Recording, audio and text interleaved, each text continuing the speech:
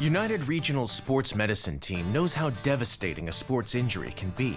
So they're with the athlete every step of the way. Our physicians here are very involved in the patient's plan of care. They're always more than happy to come over and take a look at an athlete if maybe we have a question or concern, which I think really helps in their recovery.